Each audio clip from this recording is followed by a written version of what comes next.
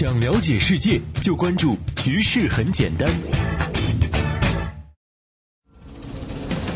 要谈克里米亚和俄罗斯之间的故事，必须要从俄罗斯的历史开始说起，因为克里米亚是俄罗斯历史的一位旁观者，也是一位深度参与者。而且在他们俩发生关系、纠缠不清的那些日子里，俄罗斯多数时候是主动的，而克里米亚则是被动的。现在的白俄罗斯人、乌克兰人和俄罗斯人，从身材和颜值上是看不出什么差别的，那是因为他们都属于斯拉夫人，是同根同种的关系。现如今呢，普通的外国人想要移民到俄罗斯都比较费劲，但是俄罗斯移民局说了，对乌克兰人和白俄罗斯人永远持欢迎的态度，就是因为他们同属一个民族。高傲的俄罗斯人不排斥斯拉夫民族。斯拉夫人最早建立的国家并不是位于现在的俄罗斯首都莫斯科周围，而是以乌克兰首都基辅为中心。那个国家叫做基辅罗斯，势力范围北到波罗的海，南到黑海，东西包括大半个现在的乌克兰和部分俄罗斯领土，但是并不包括克里米亚半岛。有人说俄罗斯文化发源于乌克兰，就是从这儿来的。基辅罗斯存在了大概三百五十年之后，不巧碰上成吉思汗的孙子拔都带着千军万马西征。毫无悬念地把基辅罗斯给灭了。当基辅罗斯被蒙古人占领的时候，莫斯科还是基辅罗斯下边一个公国不起眼的小城镇。虽然当时的莫斯科也被蒙古铁骑是踩得一塌糊涂，但是好在莫斯科属于偏远地区，这伤害相对小一点，并且莫斯科周围有草原、有河流，恢复重建也比较快。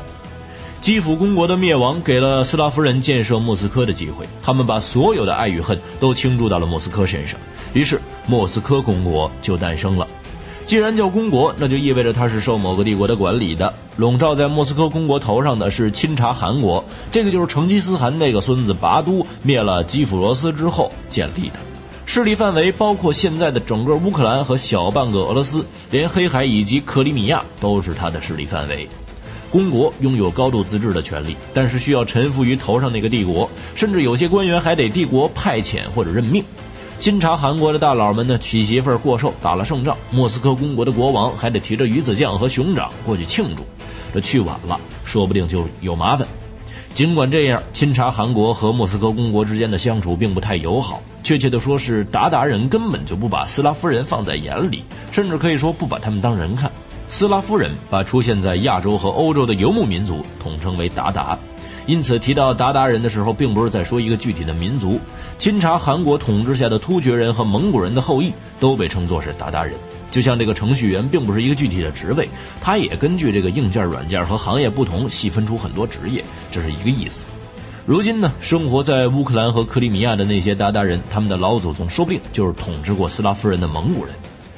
钦察汗国存在的时间长达两百六十年，在这两百六十年里，成吉思汗的众多徒子徒孙们为了权力和利益发生过很多残酷的斗争，这个钦察汗国也不例外。这个帝国度过了他的第一百八十八个生日之后，分裂成了五个国家，正统汗位由大帐汗国继承，其中还有一个就是克里米亚汗国，它的势力范围并不仅仅是我们今天的主角克里米亚，还包括黑海沿岸的俄罗斯大片领土，其他三个我们就不让他们出场了。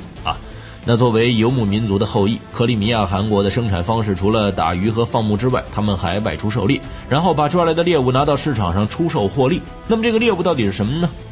就是斯拉夫人。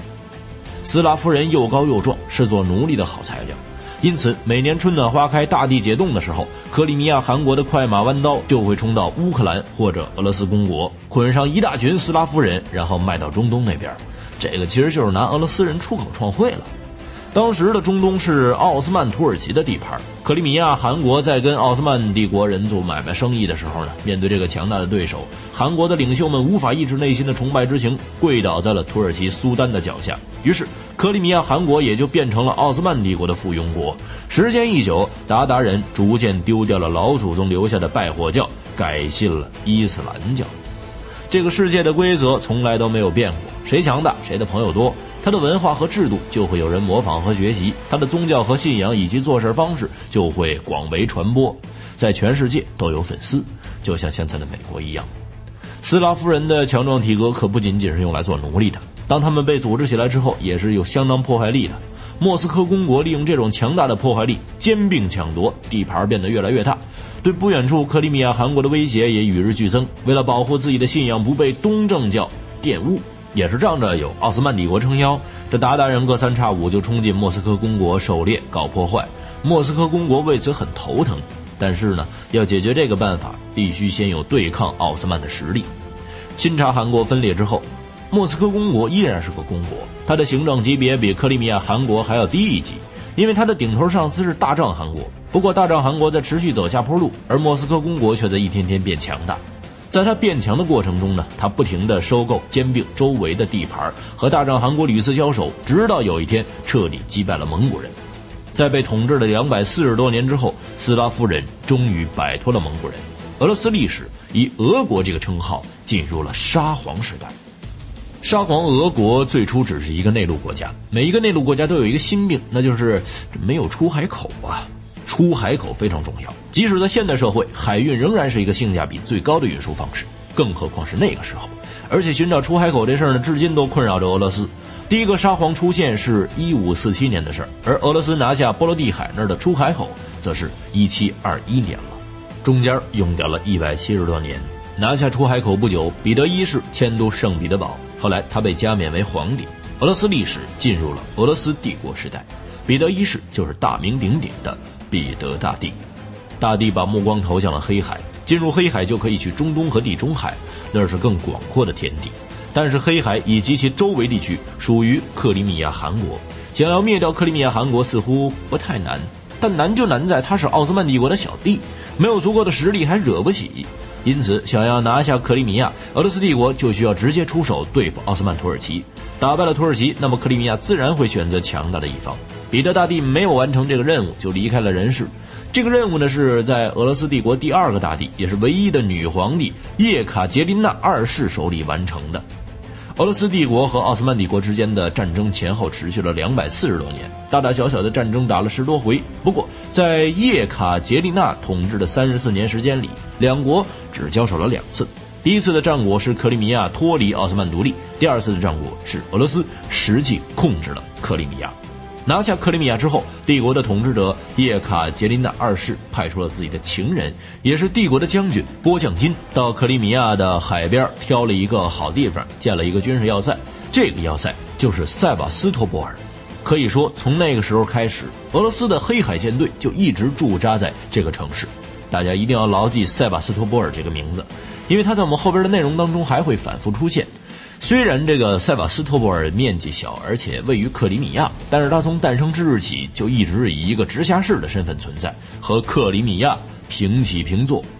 克里米亚落入俄罗斯帝国手里之后呢，岛上的鞑靼人既害怕沙皇对自己过去狩猎经历的清算，也害怕沙皇逼着自己改信东正教，于是纷纷逃离家园，去了黑海对岸的土耳其。这一度造成了岛上的劳动力短缺。为此，叶卡捷琳娜女皇下令采取一切手段给那边移民，鼓励乌克兰人和俄罗斯人到克里米亚岛上投资置业。这是克里米亚人口结构的一次巨大改变。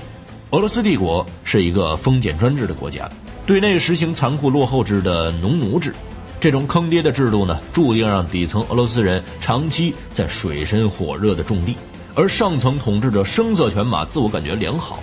这不但社会矛盾巨大，而且严重阻碍了工业化进程。逐渐跟西欧国家拉开了距离，但是偏偏沙皇祖祖辈辈都热衷于征战讨伐，在之后克里米亚战争、日俄战争、第一次世界大战的每一次糟糕表现，就让沙俄越来越不得人心。终于，在一九一七年的三月份爆发的二月革命之中，沙皇俄国长达三百多年的统治被推翻。同一年的十月份，以列宁领导的布尔什维克主义者攻入东宫，把沙俄的残留政权彻底清理干净。建立了俄罗斯苏维埃社会主义共和国，也就是所谓的苏俄。这个时候呢，俄罗斯的历史还没有进入苏联时代。苏俄刚刚成立的时候，国内还有很多沙皇的忠实粉丝，也有很多的欧洲人支持下的武装组织。这些人成分复杂，派系众多，纷纷跟列宁这伙人对着干。因为列宁的队伍叫红军，所以那时候反对派们统称为白军。列宁等人又花了五年时间收拾了白军队伍，到一九二二年和乌克兰、白俄罗斯和南高加索联盟一起组成了苏维埃社会主义共和国联盟，简称苏联。苏联一开始就包括了克里米亚鞑靼社会主义共和国。